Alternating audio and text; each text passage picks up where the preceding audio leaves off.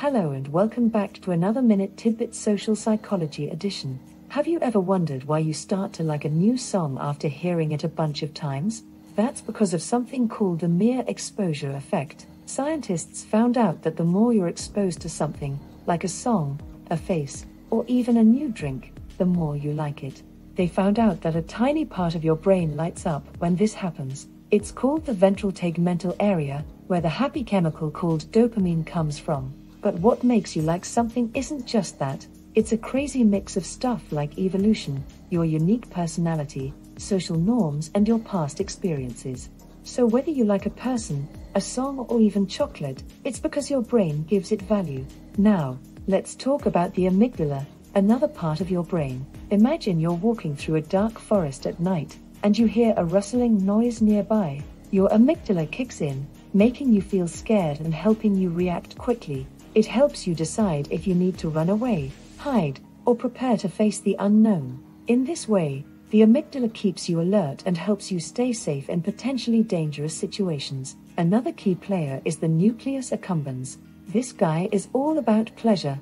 It lights up when you encounter something you like. It could be a pretty face, the idea of winning money, or even hearing your favorite music. It's like the DJ of your brain playing the music of joy. But here's a curious thing this pleasure center even reacts to more complex feelings, like Schadenfreude, that's a fancy German word for the guilty pleasure you get when something bad happens to someone you're not too fond of. Yeah, your brain has a wicked sense of humor.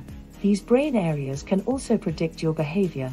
For instance, studies found that when you're deciding whether to buy that expensive chocolate or not, the nucleus accumbens lights up. So, in a way, your brain's attitude toward things can predict your actions. Now, here's an interesting twist there's a difference between wanting something, like craving a pizza, and liking something, like the taste of the pizza when you finally eat it. They're usually connected, this is true, but they can also be separate. Your brain deals with them differently. Now, dopamine, our happy chemical, is responsible for the wanting part in our brain. It's like your brain's hype man, getting you excited about the reward that's coming. For instance, if a monkey knows it will get juice after seeing a blue square, dopamine spikes when the square appears, not when the juice comes. So, dopamine is really all about the anticipation of reward, and not the reward itself. Interesting, isn't it? Have you ever wondered why some things feel so good when you finally get them? Like that first bite of pizza after a long day? That's because different chemicals in our brain kick in. There are really two main groups opioids and cannabinoids. Don't worry, we're not talking about illicit drugs here. These are naturally produced by your body. One example of an opioid is enkephalin, and an example of a cannabinoid is anandamide, which interestingly is named after a Sanskrit word meaning bliss. Some drugs, like heroin and marijuana, actually mimic these chemicals, which is why they can feel so good.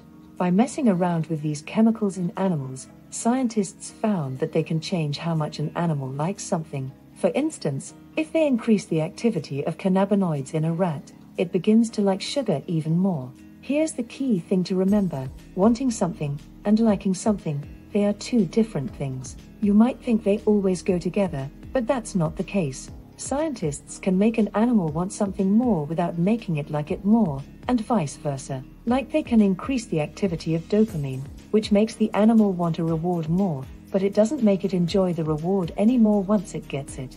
This difference between wanting and liking can lead to some weird things. Take drug addiction for instance. Over time, an addict wants their drug more and more, to the point where it takes over their whole life.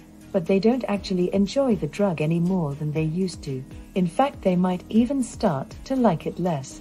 And, of course, this can happen in normal life too. Have you ever really wanted to get back together with an ex, even though you don't actually like them that much anymore? Well, that's your brain separating wanting from liking. Scientists have actually done experiments on this. They found that if they stop people from getting something they want, they start wanting it even more, but they actually like it less. So, if you're blocked from winning a prize, you'll want it more and be willing to pay more for it. But when you do finally get it, you're more likely to trade it away because you don't actually like it as much as you thought. So sometimes, we can want something without really liking it that much. Well, that's it for today's episode on how your brain decides what you like, what you want, and what you end up doing. Join us in the next episode where we'll discuss emotions and the choices we make. Until then, remember, your brain is a complex orchestra playing the symphony of your feelings and actions, so dance to the beat of your inner maestro. Bye for now.